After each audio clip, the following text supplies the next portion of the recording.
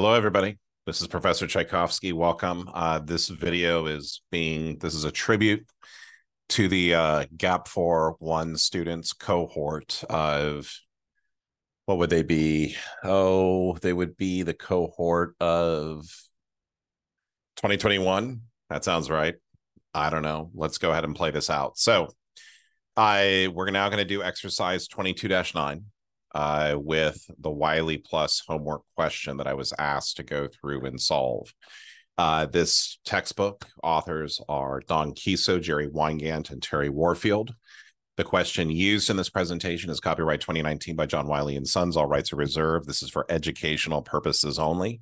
The video may not be distributed or redistributed without the express permission of Wiley.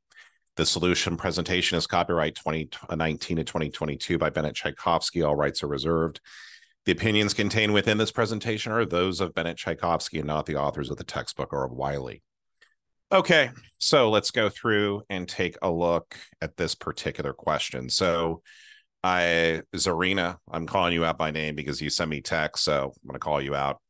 I you asked me to do this exercise 22-9, which is basically the same thing as this bramble, just like the numbers are the names have been changed to protect the innocent. So let's go through and kind of go through and take a look at this. So we've got sales, we've got COGS, we've got gross profit, we've got expenses, we have net income. And then we're going to have retained earnings beginning, net income, and dividends, retained earnings ending. And so we're going to say as is, as is, well, we'll maybe make this a little bit different. Uh, so 2021, 2020, going through over here, we got sales of 340,000, uh, cost of sales 200. So my gross profit is 140, expenses are 88. So my net income is 52,000 for 2020. I've got 270,000, 142. So this means my gross profit is going to be 128. My expenses are 50,000. So my net income is going to be 78,000. My beginning retained earnings were 72,000. My net income is basically going to be 78. My dividends ending of 25.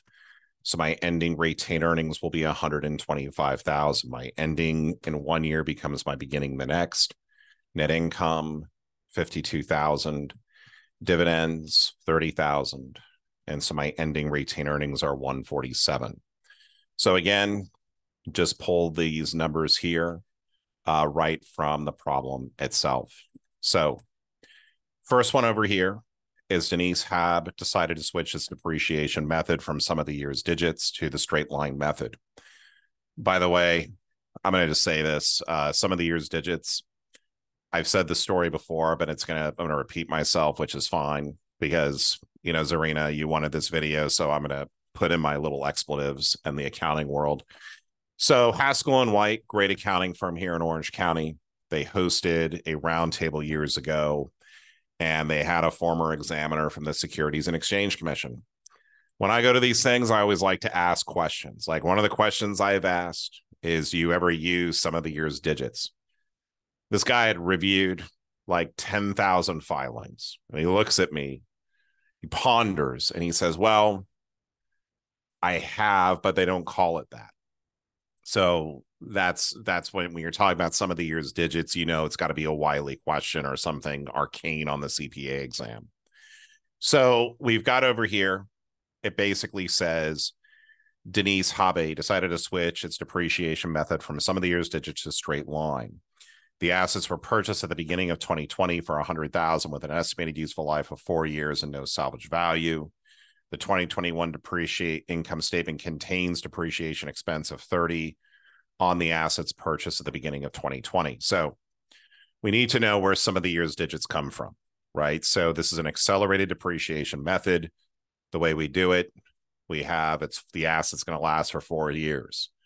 Four, three, two, one earth below us, nothing falling.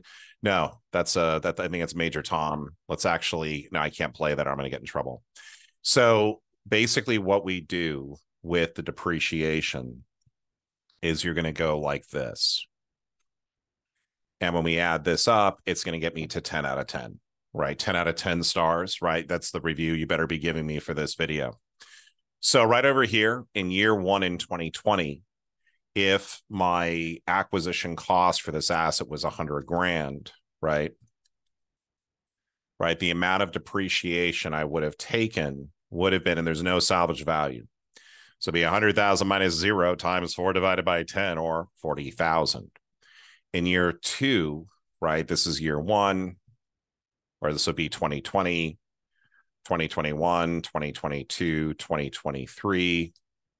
So coming over here for year two, now you see this number right over here. They took 30,000 at the beginning of 2020. So over here, well, how did they get that number? Well, they took 100,000 and they multiplied that by three divided by 10. Now, what they're saying it went through and did was is that when we have this, and this is something I knew I learned, something new. This is something new that I learned today. Always exciting. So we don't change the past. What we would do is we would say we've moved from sum of the year's digits to straight line. So 2020 for the depreciation, we're not going to change. We're going to basically leave this expense here as it is. We're not going to change that. What we will do though is for 2021, the current expenses right now are at 88,000. Right? So my current expenses are at 88,000 for 2021. So right over here and this includes 30,000 of depreciation expense. So my non-depreciation expenses are going to be 58,000. So now what I need to do is I need to recompute my depreciation expense for 2021 using the new method. However, what I did though was is I took 40,000 of depreciation last year. So now in terms of my depreciable base, this is going to be a hundred thousand minus the forty thousand I already took of depreciation in 2020. Right, we can't go through and change that. This is going to give me 60,000. At this point in time, using straight line, right? The asset has a four year life. This year is already passed. So I have three years remaining. So this, I'm going to divide this by three. There's no salvage value.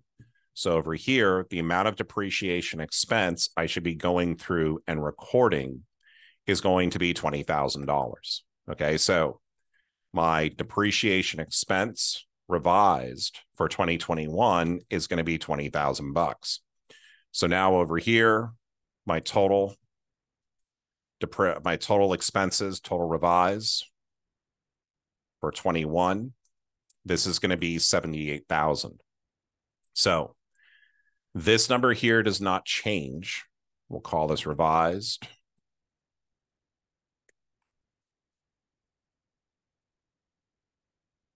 Okay, so coming right over here, my new amount of my expense basically for the year.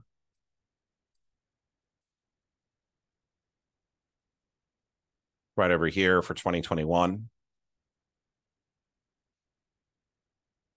is going to be 78,000. Okay.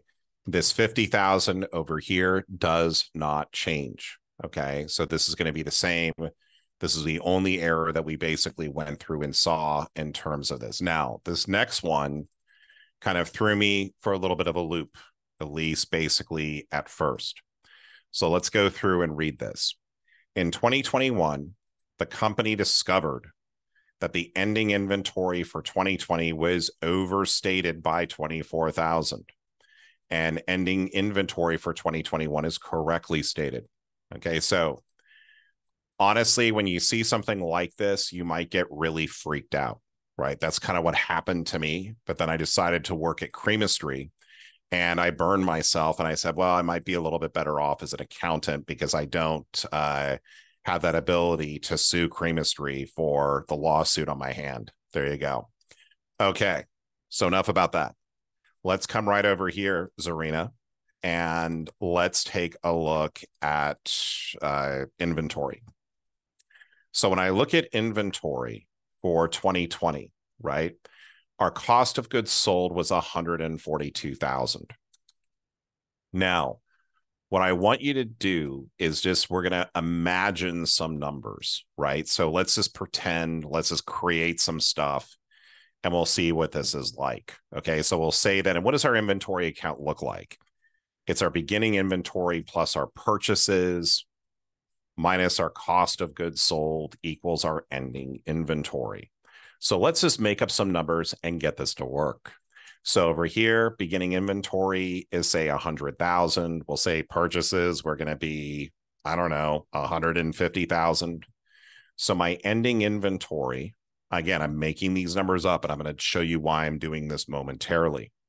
So my ending inventory right over here, right, as is, because my cost of goods sold was 142. This is pretend, right? So my ending inventory right now, if I'm pretending, right, beginning inventory plus purchases minus 142 for cost of goods sold is 108. Now, if I come over here and do this, it says that the company discovered that the ending inventory for 2020 was overstated by 24,000. So this is the overstatement. And if we actually went through and said that this was overstated by 24,000, that means my ending inventory really should have been 84,000. So when I look at this over here, right, what I'm going to have to go through and do is to change my cost of goods sold, right? So what is cost of goods sold going to be now? Well, it's going to be 100 plus 150 minus 84 or now it's going to basically be 166,000. So if my ending inventory was overstated, right, there was too much here by 24,000, I reduced it. That means my cost of goods sold is going to go up. When I see these types of questions, I really don't like them, but the way that I kind of get comfortable with them is I'm going to go through and make up numbers. Okay, so for 2020, right, our sales aren't changing but my new cost of goods sold is now going to be higher by the amount of the overstatement. Okay, so over here, my new cost of goods sold now is going to be 166. So my gross profit is going to be 104,000. Right? So my net income is now going to be 54,000. Okay. So when I look over here at 2020, so this is my income statement. I'm now going to go through and look at 2020. My beginning retained earnings did not change, but my net income is now 54,000. My dividends have not changed. My retained earnings ending is now going to be my beginning plus my net income, my revised income right up from over here, Okay. Minus my dividends, which haven't changed, is giving me my ending retained earning balance. For 2021, my ending retained earnings becomes my beginning retained earnings. Okay. So now what I need to do is I know that my sales over here is now at 340. So let's kind of go through now and take a look at what happened now over here. So this overstatement is going to translate into the next period, right? So if we had basically over here going through and doing some more pretending. So this is 2020 pretend, 2020 to go through and correct the overstatement. If I come over here for 2021 and I kind of go along over here on the same logic, right? Over here, my ending basically over here, my ending inventory initially would have been 108,000. This is prior to any sort of adjustment. My cost of goods sold basically for 2021 is going to be 200,000. right? What I'm going through and doing is I'm going through and making up numbers, right? And you'll see why in a moment. If my purchases, we'll call this maybe, I don't know, I 160,000. So if I wouldn't have made, so again, what I'm doing right now is I'm basically saying, okay, I'm pretending still.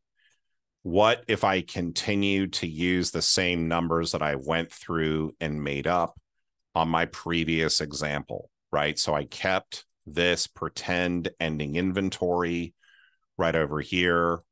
I brought in basically the cost of goods sold, which was initially was 142 and then I've got 200. And so now I'm following along with what happened with this particular error. So that was my 2021 pretend. Now let's do our 2021 revised. Okay. So if I look at this over here in terms of my beginning inventory, right? So, mm-hmm. okay. So over here, we said that the ending inventory was correct. Again, I just made up a number. But now my beginning inventory for 2021 basically becomes with dealing with the overstatement basically over here it becomes this 84,000. Now, the challenge that I have, right, is when I went through and did this over here, right? The challenge is now because I'm changing this number and they said the ending inventory was correct. This is going to change my cost of goods sold to 176,000, right?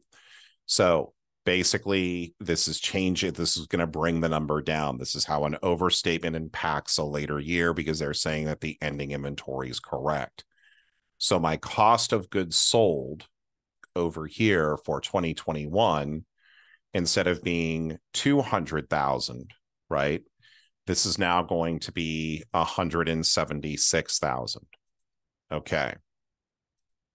So my gross profit over here is going to be 164. My net income is going to be 164 minus the 78,000, right? Why is this 78? Because again, going back to the depreciation, we don't change the past, we're focusing on the future. That's what's going through and happening. Okay. So now with going into here to this, my new net income is going to be 86,000. My dividends have not changed.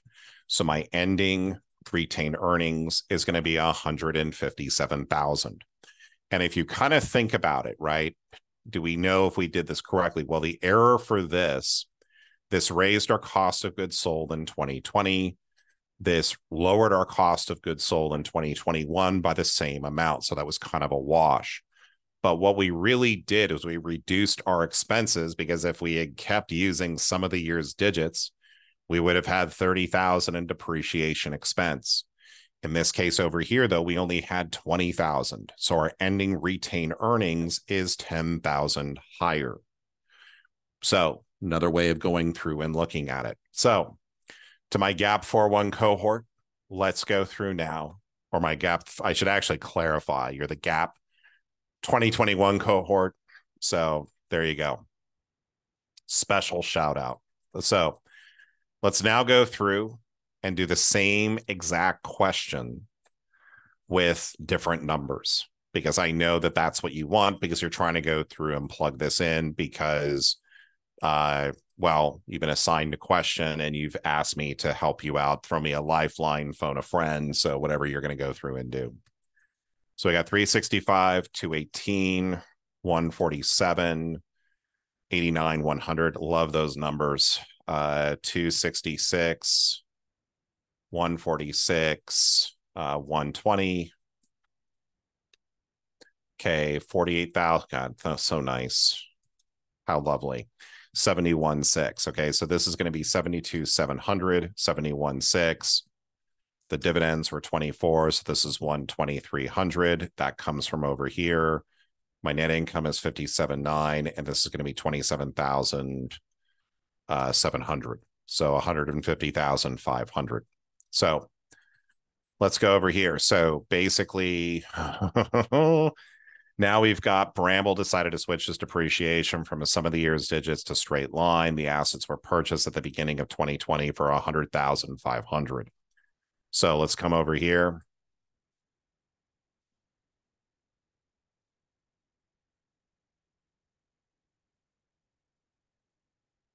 Okay.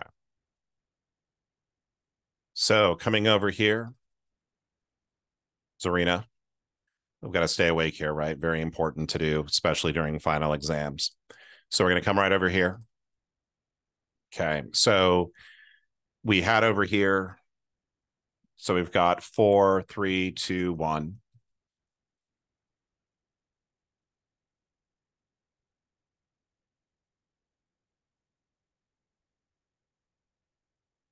Okay, so in terms of the revision, right? Over here, we know that we're not going to go through and change the 2020 expenses for the depreciation, right? We also know that sales are not going to change beginning retain earnings. We also know that dividends will not be going through and changing, but we do need to figure out what's going on here just in terms of going through so we can compute depreciation for the remaining years. Okay, so if we take 4 divided by 10 times 105,000, this would be 105, 100, excuse me. Well, almost blew that one. 100,500. So this is going to give me 40,200. This over here times 3 divided by 10 is 30,150. Ah, that's where that number is coming from. So if we look at the current expenses, right? So the current expenses for 2021, the current expenses over here are a total of 89,100. So the depreciation included in 2021, remember, we're not going to do anything with 2020, but I'll show you why we had to compute that first one momentarily. So over here, so without depreciation, we're at 58,950. So in order though for me, I've got 100,500. I'm going to subtract 40,200 because I've already gone through and depreciated that. And I only have three years left when I switch to straight line. So over here, this is going to give me 100,500 uh, minus 40,200 divided by three or 20,100. How nice these numbers nicely work out. Okay. So with, so basically over here, my expenses without depreciation, any depreciation was 58,000, 58,950. The new straight line is going to be 20,100. Remember, why is it three?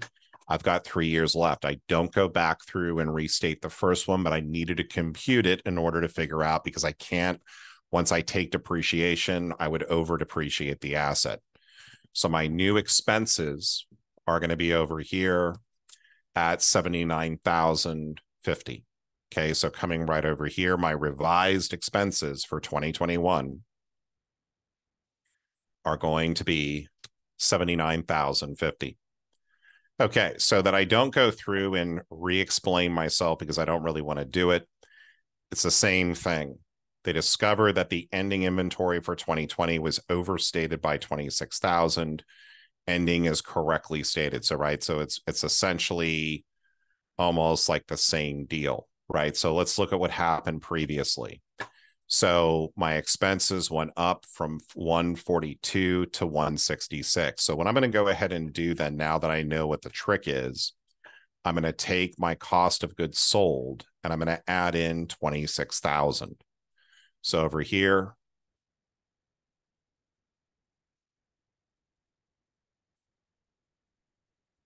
So my new cost of goods sold is basically going to go through and be for 2020, my new cost of goods sold is going to be the 146 plus the 26,000.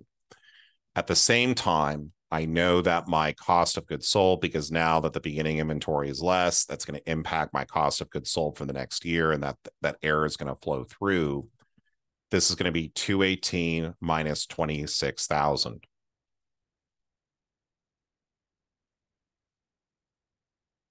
Okay, so right over here. Okay. So now that I've gone through, I've increased my cost of goods sold here for 2020. So now over here, my gross profit is 94,000. My expenses are 48.4. So my net income is 45,600. So I come down over here, my beginning retained earnings that has not changed. My dividends have not changed, but I have a new net income based on the overstatement of the cost of goods based on the understatement of the cost of goods sold. So this 94,300 becomes my beginning retained earnings for the following period. For 2021, I decreased my cost of goods sold similar to what I went through ended up here on this question. So over here, my gross profit is going to be 173,000. So my net income is going to be 93,950. Over here, 93,950. My dividends over here, 27,700. So my ending retained earnings is going to be 106, 160,550. Let's think about where that's coming from. So over here, my new uh, my new ending retained earnings is higher by 10,050. Where is that coming from? well i should have ultimately have gone through and i originally went through to compute this i used 30150 using sum of the year's digits remember i did not change anything for 2020 my new amount of my depreciation expense under straight line was 20100 so this is basically where that difference is going through and coming from again if you go back to make sense for yourself right make put numbers around it, make up some stuff, and then say, oh, this is basically the inventory was overstated. So that means my ending inventory is going to be less. That means I must have had higher cost of goods sold. And then this over here is going to translate over here, and this will end up decreasing my cost of goods sold if my ending inventory isn't changing. So, Zarina, hopefully this was helpful. Hopefully you don't burn me at Creamistry next time I come by and I want that. Actually, I need to come by to your creamistry. I think I should get free creamistry. So you need to let me know when one of your friends is like working there so I can go in there and mention this video and get 150% off. No, you don't have to pay me anything, but it would be kind of entertaining to see you zap me with nitrous. Well, not really. In any event, I want to thank all of you for being here today. Uh, best of luck on your exams. Uh, thank you, Wiley and I look forward to seeing you on future videos. Have a great day.